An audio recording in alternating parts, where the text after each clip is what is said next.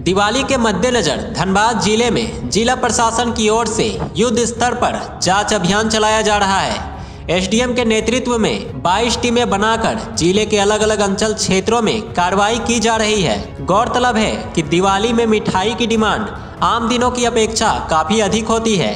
ऐसे में मिलावट युक्त मिठाई बाज़ार में ना बेची जाए, इसको लेकर यह जाँच अभियान चलाया जा रहा है।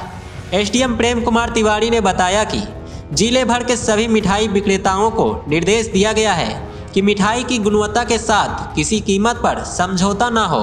उन्होंने बताया कि ज़िले भर के एक दर्जन से अधिक मिठाई दुकानों से सैंपल लिए गए हैं, जिनकी जाँच के बाद अगर कोई गड़बड़ी पाई जाती है तो उन पर कठोर कार्रवाई की जाएगी।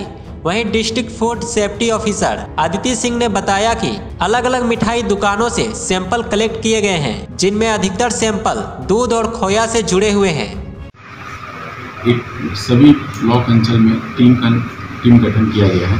सभी अपने अपने ब्लॉक अंचल अंचलाकर तक जाँच कर रहे हैं। टीम बना करके जो भी बड़े बड़े मिठाई शॉप है उन लोगों का जाँच किया जा रहा है। अगर गल- एक एस दिया गया है उसके आधार पर हम लोग रिपोर्ट करेंगे। यहाँ उसके आधार पर कार्रवाई की जाएगी। फ़ूड सेफ्टी एक्ट मुखर संवाद के लिए धनबाद से एम अली की रिपोर्ट।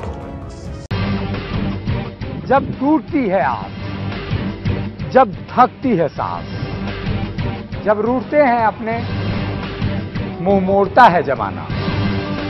जब अंगड़ाई लेता है संकल्प, फिर बनती है कहानी।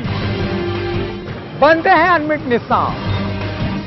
देखिए मेरे साथ, संघर्ष की दास्तान।